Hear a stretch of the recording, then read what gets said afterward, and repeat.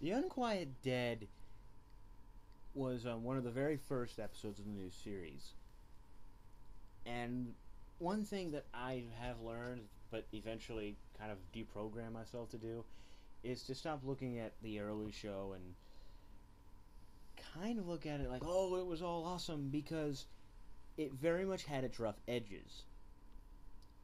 Looking, I recently watched it all back to back, um, and uh, before I did the rewatch for this episode specifically, and realized there are very big fundamental flaws. Some episodes aren't as good as I remember on the, my first initial viewing, but again, my first initial viewing of this entire series came from my PBS station, was actually rerunning the entire first series, um, two episodes at a time. Though when they did uh, the finale, what they they they actually did, um, actually when they did finale, if I'm if I'm right, they put the last three episodes um, aired together because they didn't want to interrupt the two the uh, the finale two parter, and they also put in like the confidential, the Doctor Who confidential, at least the cut down version. Because from what I understand, back when they did confidential, now now it's um, canned apparently. Um, the the versions on the DVDs were pared down versions of a uh, like of a, a forty minute show or something like that. Much longer than the ones on your available DVD. And I kind of was just watching this and awe, going, "Oh my God, Doctor Who is awesome!" Because I kind of got into it. I started with Series Three because BBC, because that's where BBC America was at the time, and did that.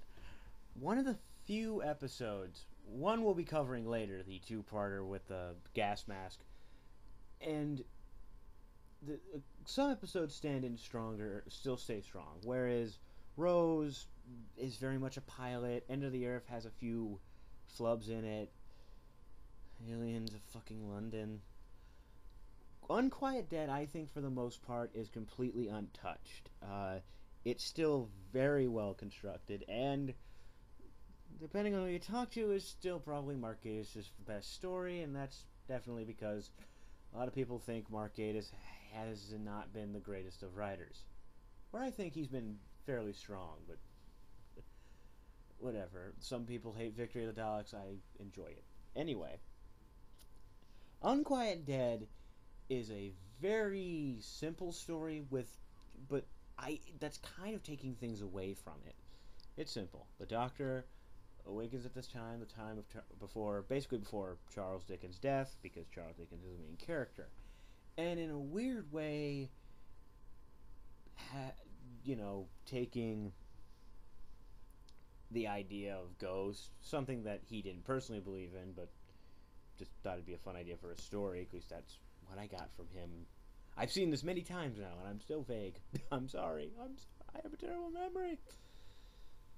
But he's very much not he doesn't wholly believe it. He he thinks he's very much uh, realist and, un- and knows reality from fiction. Then he gets taken on this adventure that, let's face it, if it were to happen in real life, you'd still wouldn't be believing it happened in real life. And have him chase these uh, with the doctor, figuring out the whole mystery behind this, and through this, we get a simple, fun story with ghosts, well, aliens who are pretending to be ghosts. Yeah, Doctor Who does that a lot. It makes you think you're looking at one thing until the big twist, it's usually somehow some sort of alien. Whatever, it's science fiction, I go with it. Now, one big thing to bring up is uh, the actors who play the the actor who plays Charles Dickens. Apparently, he kind of made a small career out of playing that character. He's apparently done some plays, at least a one man show about him. The guy's kind of carved out that market, which is good because the guy's great. Uh, and mind you, of course, the only story I am aware of by the writer himself is the billions and billions of rehashes of A Christmas Carol that's somehow not completely hated but yet like it's a trope i see that could still be done well though sometimes it's not done well. Jim Carrey, but oh no, I I oh, I liked him. There is some people who who you know you'll see an actor play an historical figure, and just somehow get get to the meat of it and just make the role sing. Again, I don't know anything about the guy at all, but I loved him. You know, he was like, "Doctor, I don't believe you," and his amazement and uh, you know the small moments between the doctor and him, more particularly the one where he has to explain what a fan is, like you know what I am talking about this show, and I loved him. Um, the cast is poured down to what seems to be five people: Dickens, and the other two supporting characters are the uh, the um, I am blanking on the word. Not the cemetery, but I I I had to go to this recently too. I feel stupid. The guy who runs the place, who, and I love the fact that you know the guy who oh morgue. I, I think I'm nah, not the morgue, mortuary. We're going with mortuary for now until I can think of anything. I'm that I'm that bad at this. I apologize. I loved him because a because just this little hint, the fact that he calls the people who wake up from the dead and walk around stiffs. I love that because there's kind of a joke I've seen in fiction where you kind of need to make your own fun when you work that job of putting of you know looking after cadavers and preparing them for funerals. I just love that. He was generally fun, kind of a little bit ounce of humor to him. His assistant, who is is it is her name Gwyneth? She of course it goes on to play Gwen Cooper, and they even kind of retcon in that you know she's an ancestor of her. I loved her. Um, I specifically love the fact that uh, you know her her psychic because she has a, they play up a psychic ability has a connection to the whole plot with the Gelth and I love the fact that uh, big spoiler here she gives her life to you know protect it and which is a big thing to do especially a character we've never seen before but uh, I, I did feel you got to at least know her fairly well as a person and you feel bad that she sacrifices herself in the end uh, my favorite scene with her, though, is actually the one with her and Rose. I don't know. It's a. It's fun to see these women who look like they're roughly the same age from these two different time periods. You kind of see the juxtapositions. You see the things that don't really s- seem different for people in that in that age group. They got along, talked about skipping school, boys, and all that. I found that I found that slightly entertaining. Rose herself is definitely a strong example of a because we at this point this is only the third episode. RTD writes her kind of clumsily, in my opinion. From those, uh, she does things that aren't entirely likable and throw fire into the "Let's Kill Rose Tyler" fan club that you know, has been around for years and will never go away as long as the show is relevant, at least the current show. Because there are people who love her and there are people who definitely hate her. Here, I think they got her right. She's exploring. She's basically the moral person who says, you can't let these ghosts take these bodies. It's t- defacing the lives of those, which recently made me think of a Outer Limits episode I watched. We're not bringing that up. And I don't know. I, I just love her kind of reaction to it all. She gets along with everyone very well, especially the doctor. Him himself is he's definitely up. He's definitely raised a bit over. Um, he's not simply kind of playing it autopilot. He uh, Eccleston's the doctor, playing it up strong. Um, my favorite moment, though, my, there's two moments, and they're just kind of quiet talking moments.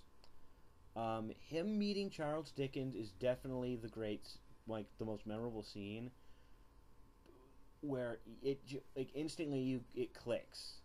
He he just somehow clicks as the Doctor completely. Not saying he wasn't the Doctor at all, but it, it just kind of that episode you're just like he's on after that.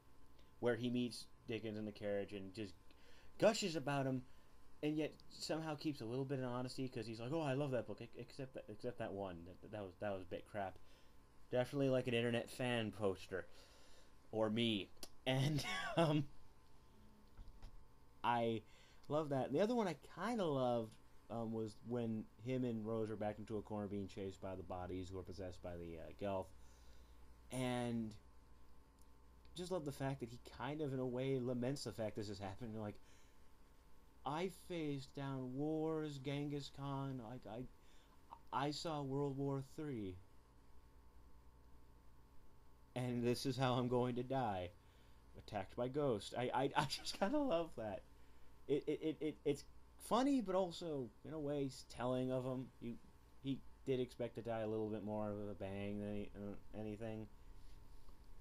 Uh, I, li- I really like this. It's a very nice. Um, uh, it's a very good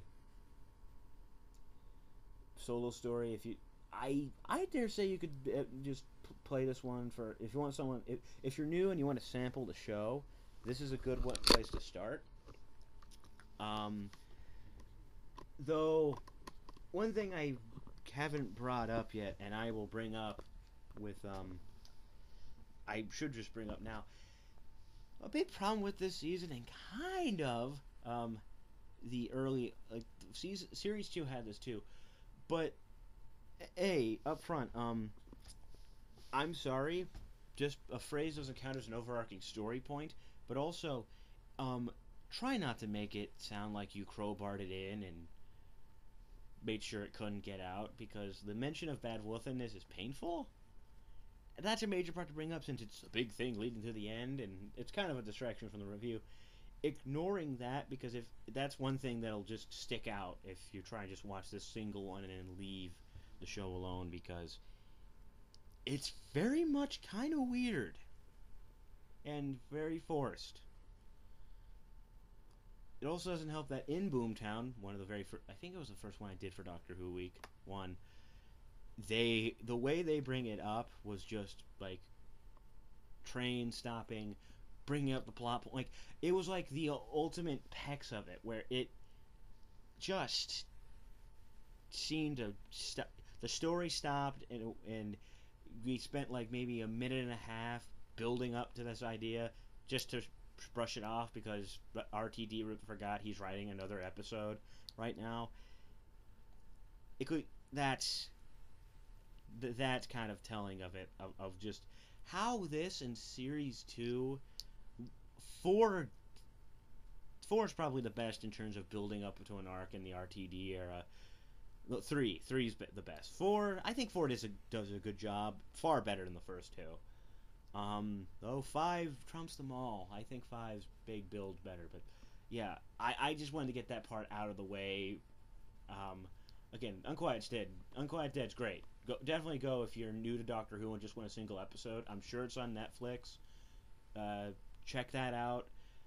It, it, it, or if not, if you're not going to check out the first episode and you just want to kind of go in the middle, I know I've seen people who definitely want to do that.